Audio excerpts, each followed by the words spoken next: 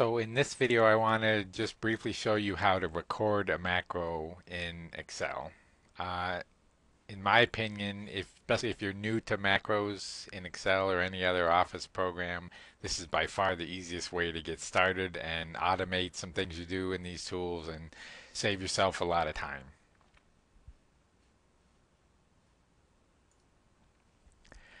So here's just a quick demo of this. I have just a little bit of data here and you see it's formatted. Um, it has bold red font here and some highlighting here and some conditional formatting here in column C. And so uh, if you have to do this, you know, same kind of formatting to data over and over and over, day after day or week after week, then you can write a little macro to do all the formatting for you. And um, you don't really have to know anything about writing a macro. You can just uh, turn on the recorder, do it, turn off the recorder, save the macro, and then you're set to go. So here's some blank data, um, and I want to just format it. So the first thing we do is turn this on. Now I'm using Office 2007. Um, you can do all this in older versions of Office, but um, it'll look a little bit different. So uh, if you don't have 2007, you'll have to figure out where all the right buttons are. But in 2007, uh, you go to the Developer tab.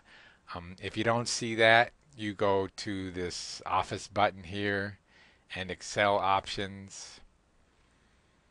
And right in this options window, there's this thing, Show Developer tab in ribbon. So make sure that's checked if you don't see the tab. All right, so here's the Developer tab. Uh, and right up here, then you see this button for recording a macro. So I'm going to just press that. It brings up a little box and says what would you like to call it. So I'll call it say formatting.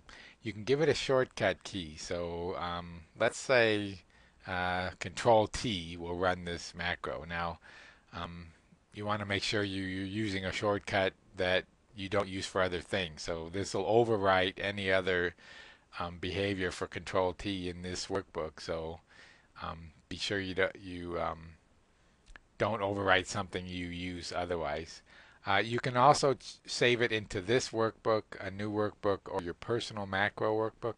If you save it in the personal macro workbook, it'll be always available to you um, on this machine.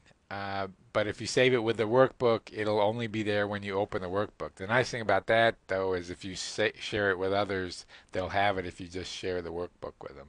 Anyway, so I'll have it as, attached to this workbook. Okay, so now we just do some of these things. I'm not sure I remember exactly what that other one looked like, but let's say we change this to be red and a little bit bigger and maybe bold and there was some highlighting here. I won't do all of this. Um, and then there was some conditional formatting here, so I'll highlight those and say we'll highlight cells greater than zero. Actually, zero. Let's do it that way.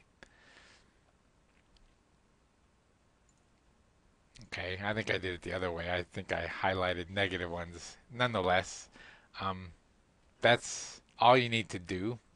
Uh, so now, assuming we're done and we've formatted it the way we want it, then we can um, stop the recording. Okay, so now to test it, uh, we can go to another blank sheet and hit Control T, and it does it. Uh, the other thing you can do to run macros is go again the Developer tab, Macros, and you can see it lists this formatting macro so we could press run and it would it would execute that okay? So you can see that it just executed everything we wanted just as we wanted it. Um, now sometimes you want to edit these macros uh, so to do that you have to go into the Visual Basic editor. So again on the developer tab there's this Visual Basic um, icon that launches the editor. You can also press Alt F11 so I'll press that and here it is and you can see that book1.xls is the workbook that I was working in. And down here under modules there's a module 1 I'll double click that. And this is the macro that got saved. And so you you know even without knowing exactly what it's doing you can kind of see that this one picked um, two cells, B1 and C1, and change the color. Um, this one did the, with the same thing, change the size, and also somehow switched it to bold.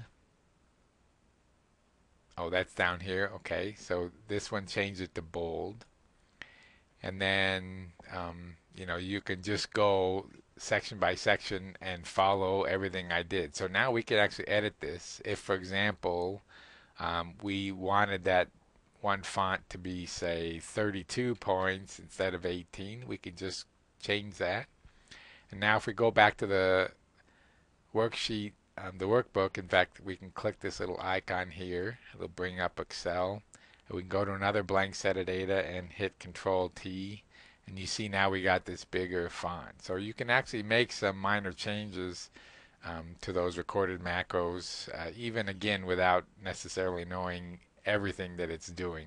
Um, if you practice these macros a little bit, you get to where you can write that code without the recorder. But um, even now, anytime I do something new, oftentimes I'll record it first and see what the language looks like and then go from there. So that's pretty much how you record macros. It's pretty straightforward and quite handy for saving work when you have to repetitively do a series of tasks time after time. Thanks.